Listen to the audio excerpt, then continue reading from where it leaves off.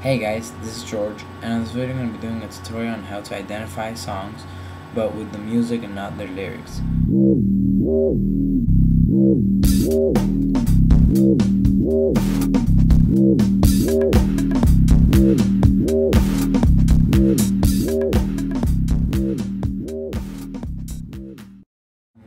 I have iTunes right here, and let's say, um, for example, this song uh, these three songs. They start with this like slash wiki slash and then kind of like a weird name.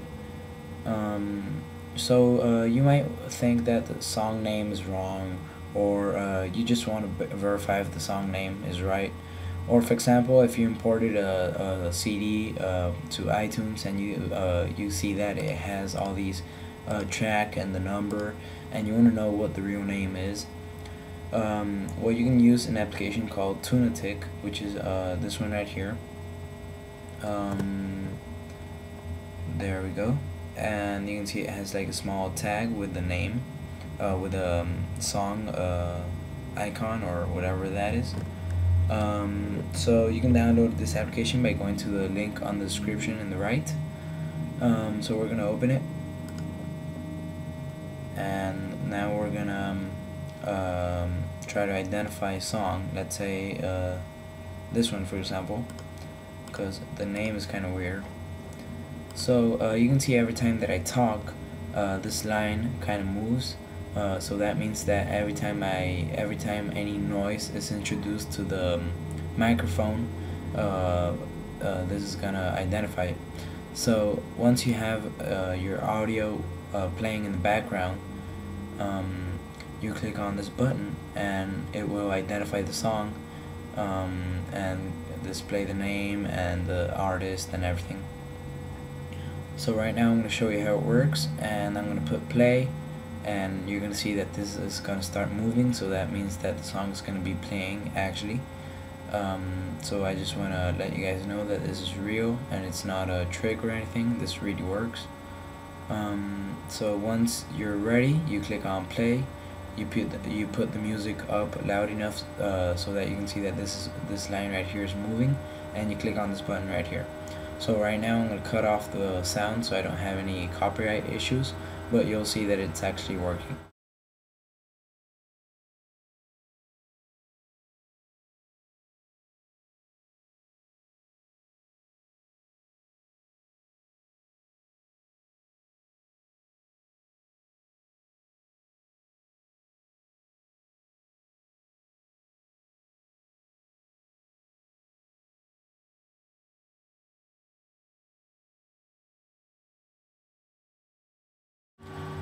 Okay guys, so um, actually the song name was wrong and um, it's called Housewife by Dr. Dre and not Dr. Dre or whatever name that was. So now what I can do is rename the song and now I have my iTunes library a bit better. So now I'm going to do another uh, search with this song and see if it works again.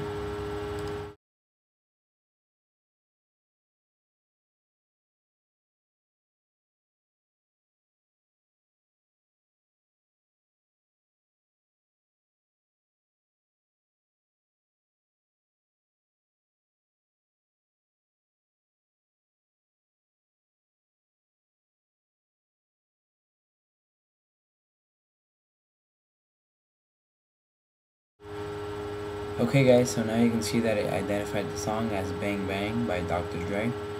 So as you can see, these song names were wrong. And um, this is a really nice application because I use this a lot. And it's a very um, cool trick, um, you know. So here for example, I have some uh, track uh, uh, songs which I don't know where they came from so for example, these three I know that they are from 50 Cent and The Massacre, but uh, I don't know the track name.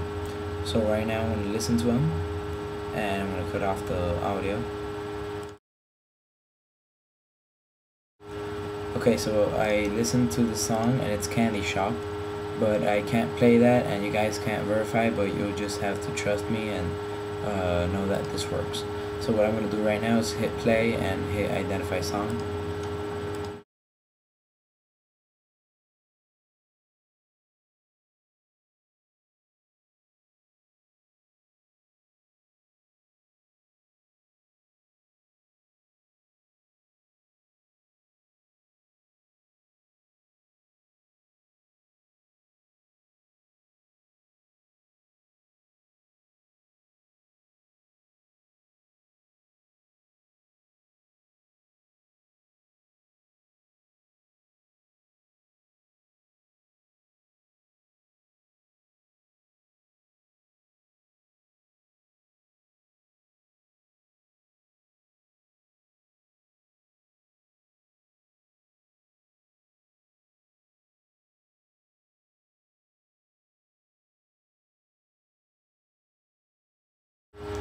Okay, so there you can see it identified the song again, Candy Shop, 50 Cent, featuring Olivia. Olivia, I mean. So, um, uh, now I have my iTunes library a bit better. And you can just do this with any song you have. For example, these three, they are kind of weird. Or, for example, this one right here, uh, it has the uh, number and the artist right by the name, so it's kind of weird. so um, uh, this song for example instead of having the real album it has a web page. So um, this can really help you a lot. So that's about it for this video guys. Remember to comment rate and subscribe and follow me on twitter. If you have any problems just send me a message. Remember you can't have any other audio than the song you, you want to identify playing because it won't work efficiently. So that's about it for this video guys. Um, goodbye Bye.